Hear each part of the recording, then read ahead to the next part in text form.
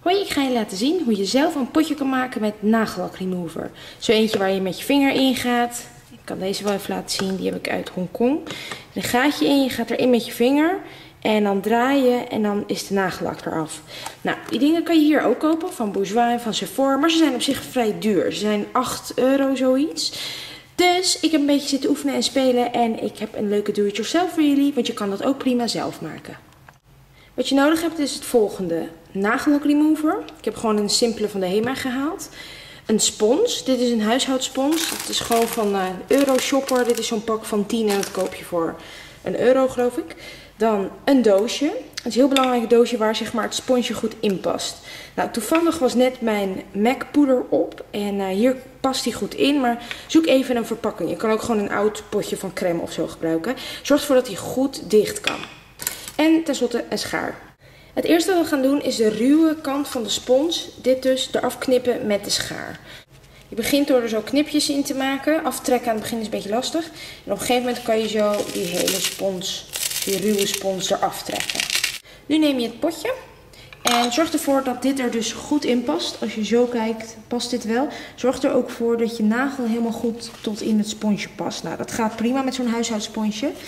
En nu wil je dit er eigenlijk in krijgen. En je wil dat het zoveel mogelijk ja, gepropt is. Dus probeer gewoon maximaal. Ja, dit is dan net iets te veel, dus we moeten er toch echt iets afknippen.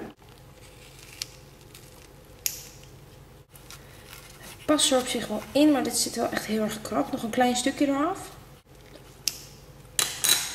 Nu zou die beter moeten passen.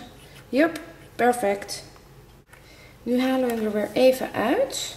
En dan zoeken we het midden op en dit vouw je zo dubbel. En dan maak je er een knipje in. Want bij die echte zit er een soort ja, gat in met knipjes in. Dat gaan we hier ook precies zo doen. Zo.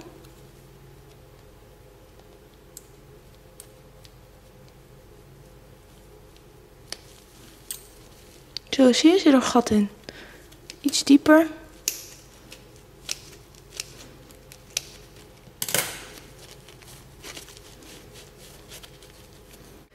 En andersom ook.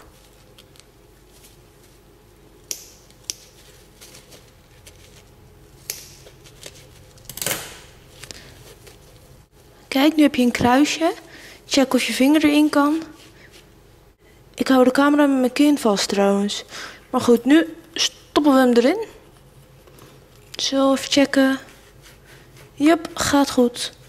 En nu nemen we de nagellak remover en die gooien we er heel voorzichtig bij. Oh, ik heb al gemorst. Beetje bij beetje, tot de hele spons vol zit met nagellak remover. Hij zit nu vol, er is ongeveer een derde uit. Het pelt een klein beetje uit, maar dat maakt niet uit, want de deksel gaat er straks gewoon op. In principe is die nu klaar. En natuurlijk moeten we hem even uittesten. Dus ik neem een nagel. Ik ga het even met één hand doen. Een beetje ronddraaien. Kijk, zoals je ziet er zit echt veel remover in. Het is bijna helemaal vol. Zorg ervoor dat je niet hard drukt of wat dan ook. Anders uh, vliegt de remover eruit.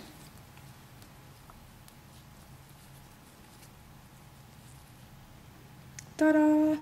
Heel makkelijk en snel. En voor degene die zich afvragen waar de nagellak dan heen gaat, dat gaat die spons in. En op een gegeven moment zit die spons echt vol en dan moet je het opnieuw maken. En ook dat water wordt op een gegeven moment vies. Maar het is niet zo dat als je de volgende keer er weer ingaat met de vinger, dat er weer nagellak op je vinger komt. Zo werkt het niet. Op de een of andere reden zuigt hij gewoon die lak naar binnen. Wat super handig is. En dat zit. Je zelfgemaakte nagellak remover in een potje is klaar. Heel voordelig, heel makkelijk. En uh, ik hoop dat jullie de do-it-yourself leuk vonden. Nog een tip, gooi deze sponsjes niet weg. Daar kan je nog leuke nailart dingetjes mee doen. Snij ze bijvoorbeeld in blokjes en gebruik zoals van die nagelsponsjes. En neem niet je allermooiste potje, want nagellak remover is een beetje bijtend. Dat kan je hier misschien al zien. Het maakt sommige dingen dof. Nou, voor mij maakt dat nu niet uit, maar weet je, neem niet een potje wat je misschien mooi in je kamer wil neerzetten of zo. Want de kans is groot dat hij een klein beetje aangetast zal zijn. Ik hoop dat jullie het leuk vonden. Doei!